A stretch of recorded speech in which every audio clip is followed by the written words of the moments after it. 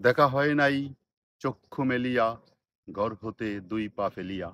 কবিগুরু তার মনের ভাব প্রকাশ করেছেন এই কবিতার মাধ্যমে।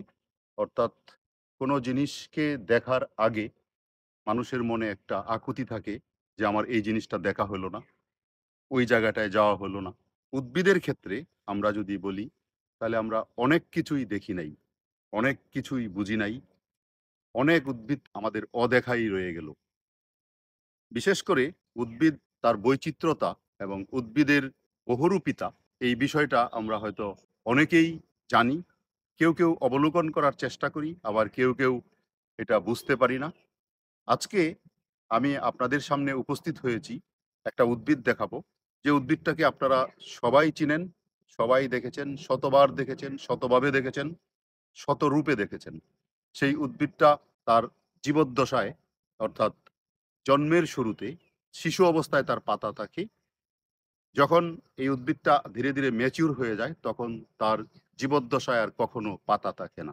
অর্থাৎ পত্রবিহীন একটি উদ্ভিদ আপনাদেরকে দেখাবো, যাকে আপনারা চিনেন, তার নাম হচ্ছে একাশিয়া। একাশিয়া আমাদের দেশে প্রচুর আজকাল রোপণ করা হচ্ছে। একাশিয়ার বেশ কিছু অপকারী দিক আছে, সেটা নিয়ে পরে আলোচনায় যাচ্ছি। যাবার আগে একাশিয়ার পাতা কেন দেখা যায় না? বা একাশিয়ার পাতা দেখতে কীরকম? সেটা নিয়ে আপনাদের সাথে বিশদভাবে একটু আলোচনা করব। তো আপনারা একটু ধৈর্য সহকারে আমার ভিডিওটা দেখবেন, আশা করছি। চলুন, এখন আপনাদেরকে একাশিয়ার পাতা কীরকম আর একাশিয়া গাছে আমরা যা দেখি সেটাকে কি বলে সেটা নিয়ে আলোচনা করব। একটা পরিপক্ক একাশিয়া বা আকাশমণি গাছে পাতায় ভর্তি থাকে। আমরা সাধারণ চোখে তাই দেখতে পাই। পাতাটা চকচকে থাকে। এবং পাতার সৌন্দর্যটা অনেককেই মুগ্ধ করে।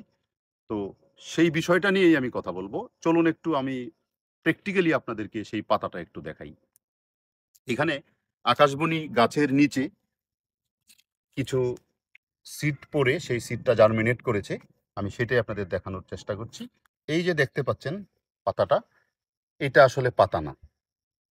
এই যে এখানে পরিষ্কার দেখা যাচ্ছে। আর এই যে দেখতে পাচ্ছেন ছোট ছোট তেঁতুল পাতার মতো দেখা যাচ্ছে। সেইটা হচ্ছে আকাশমণি গাছের পাতা। দেখুন, একটা গাছের মধ্যেই এই গাছটার একটা জুবিনাইল স্টেজ এই গাছের প্রথম দিকের পাতা হচ্ছে এইটা পাতা, তারপর ধীরে ধীরে এই পাতাটা ঝরে যেয়ে আস্তে আস্তে এই যে এরকম হয়ে যাচ্ছে প্রত্যেকটা। পরিশেষে এটা একদম এরকম হয়ে যাবে। একটি পরিপক্ক আকাশমণি গাছে পাতায় ভর্তি থাকে, কিন্তু বাস্তবে এটা পাতা না।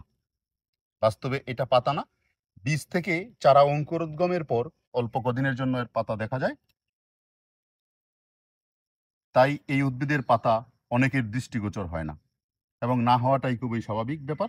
তবে আকাশমণি বড় হওয়ার পর গাছ ভর্তি পত্র সদৃশ যে বস্তু দেখতে পাওয়া যায় তা কখনোই পাতা নয়। এটাকে যদি বলি তাহলে সায়েন্টিফিক ভাষায় এবং উদ্ভিদ বিজ্ঞানের ভাষায় যদি বলি এটা হচ্ছে পর্ণবৃন্ত। এটাকে পর্ণবৃন্ত বলা হয় বা ফাইলুটস বলা হয়। চেপটা, বৃন্ত বা পেটিউল, যাকে আমরা পাতা বলে জানি, এরা পাতার মতোই কার্যাবলী সম্পাদন করে, কিন্তু প্রকৃতপক্ষে এগুলো পাতা নয়, পর্ণবৃন্ত। যেহেতু এগুলো পাতা নয়, তাই পর্ণবৃন্তের পত্ররুম বা লিফ হেয়ার থাকে না। যেহেতু লিফ হেয়ার থাকে না, তাই এই যে এইটাতে যেহেতু লিফ হেয়ার থাকে না, তাই এর মধ্যে ধুলাবালি আটকায় না। বিশেষ করে আমরা, আপনারা দেখবেন, যখন আমাদের দেশে বৃষ্টির পরিমাণ কম থাকে রাস্তার পাশে যদি কোনো উদ্ভিদ থাকে, সে পাশ দিয়ে যদি কখনো কোনো গাড়ি চলে, তাহলে উদ্ভিদের পত্রগুলি ধুলায় একদম সাদা হয়ে থাকে বা কখনো কখনো ধূসর বর্ণের অর্থাৎ ডিসকালার হয়ে থাকে। কিন্তু যদি কখনো আকাশমণি গাছ রাস্তার পাশে দেখেন, তাহলে খেয়াল করবেন ভালো করে যে এর যে পর্ণবৃন্ত, যেটাকে বললাম একটু আগে দেখাইলাম, সেই পর্ণবৃন্তগুলির মধ্যে কোনো রকম ধুলা থাকে না, ধুলা আটকে থাকে না। কারণ হচ্ছে, যেহেতু এর মধ্যে লিপ ফেয়ার নেই সুতরাং এর মধ্যে ধুলাটা আটকে থাকতে পারে না। তো আপনাদেরকে আমি দেখানোর চেষ্টা করেছি যে একটা আকাশমণি গাছের কোনটা পাতা এবং কোনটা পর্ণবৃন্ত বা ফাইলোডস আকাশমণি গাছের কিছু অপকারী দিকও আছে সেটা বলব। আমাদের দেশে আশ্বিন কার্তিক মাসের দিকে সাধারণত এই গাছের পুষ্পায়ন ঘটে। হলুদ ফুলগুলি জোপাকৃতিভাবে পুরা গাছটার মধ্যে একদম ভরে থাকে। তো এই ফুলের পরাগরেণুটা তখন বাতাসের মধ্যে ঘুরে বেড়ায়। হালকা বাতাসে পরাগরেণু চারিদিকে ছড়িয়ে পড়ে। এই পরাগরেণু যখন ছড়ায়, তখন এই পরাগরেণুগুলি একটু আঠালো থাকে এবং একটু ভারী হওয়ার কারণে বাতাসে এটা খুব বেশি উঁচুর দিকে যেতে পারে না। আমাদের নাক বরাবর যে লেভেল, সেই লেভেলে এইগুলা ঘোরাফেরা করে। অর্থাৎ বাতাসে ভেসে এই পরাগরেণু বিশ মিটার, চল্লিশ মিটার, পঞ্চাশ মিটার দূর পর্যন্ত চলে যায়। যেহেতু এই উদ্ভিদের আধিক্য আমাদের দেশে অনেক জায়গায় হয়ে গেছে যখন মানুষ যখন এই রাস্তা দিয়ে হাঁটে বা পরিবেশের বিভিন্ন জায়গায় মানুষ যখন কাজ করে তখন এই পরাগরেণুগুলি নাসারন্ধ্র দিয়ে মানুষের দেহাভ্যন্তরে প্রবেশ করে। প্রবেশ করার পরে সেটার থেকে অ্যালার্জি হয় রাইনাইটিস হয় বিভিন্ন রকমের প্রবলেমগুলি হয় হাঁফানির সৃষ্টি করে ফুসফুসে যে ফুসফুসের মধ্যে প্রদাহের সৃষ্টি করে যার জন্য হাঁফানি হয়। তো এই উদ্ভিদটা আহ, যদি আমি বলি যে এটাকে খুব বেশি আমাদের দেশে রোপণ করতে হবে, এটাও বিদেশি উদ্ভিদ, কোনো দরকার নেই। এর কারণ হচ্ছে, একটা উদ্ভিদ যখন মানুষকে রোগাক্রান্ত করে দেয়, সেই উদ্ভিদ আমাদের না রাখাই ভালো, রোপণ না করাই ভালো। ধরে নেন, এই উদ্ভিদটা যেহেতু লিগোমেনেসি পরিবারভুক্ত একটি উদ্ভিদ, প্রথম যখন বাংলাদেশে এই উদ্ভিদ আগমন ঘটে, আগমন ঘটার পর এটাকে বাংলাদেশের বিভিন্ন অঞ্চলের যে চা বাগানগুলি আছে, বিশেষ করে সিলেট অঞ্চলের চা বাগানে এটাকে রোপণ করা হয়। এর কারণ হলো, যেহেতু লিগোমেনেসি পরিবারভুক্ত একটি উদ্ভিদ, তাই এটাকে শেড প্ল্যান্ট হিসাবে যদি চা বাগানে রোপণ করা হয়, তাহলে নাইট্রোজেন ফিক্সেশনের মাধ্যমে মাটির উর্বরতা শক্তি বৃদ্ধি করবে। এই কনসেপ্ট থেকে এটাকে রোপণ করা হয়েছিল চা বাগানগুলিতে।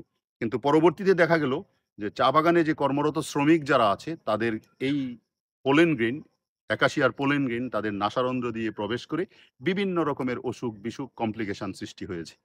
এটা শুধু এখানে না, বিভিন্ন বিশ্ববিদ্যালয় ক্যাম্পাসেও এই গাছ প্রচুর ছিল। দেখা গেল যে আশ্বিন কার্তিক মাসের সময় এই গাছ থেকে পোলেন গ্রেন বের হয়ে ছাত্রছাত্রীদের অসুখ সৃষ্টি করেছে। বিশেষ করে শ্বাসনালীর অসুখ, হাঁপানি অ্যালার্জিক সমস্যা, চোখ জ্বালা, চোখ থেকে লাল হয়ে যাওয়া, পানি পড়া ইত্যাদি প্রবলেমের সৃষ্টি হয়েছে।